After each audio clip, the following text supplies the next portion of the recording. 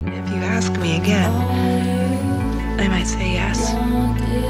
So I'm asking you not to ask me again if it's not about me.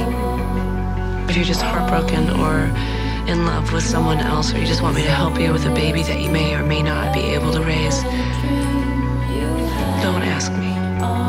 Because I don't know anything. I don't know anything anymore. Man who's in love with someone else. That much I know I can't do that again. So please, if you're still in love with a Grey girl, then go back to Seattle.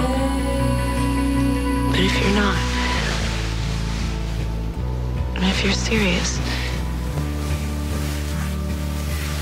then you want me,